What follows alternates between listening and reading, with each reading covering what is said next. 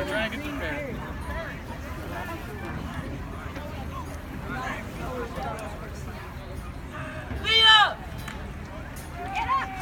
And uh, Buck the middle.